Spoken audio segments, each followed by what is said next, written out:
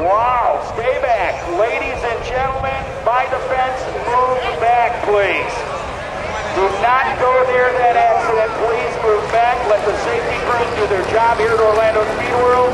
Move back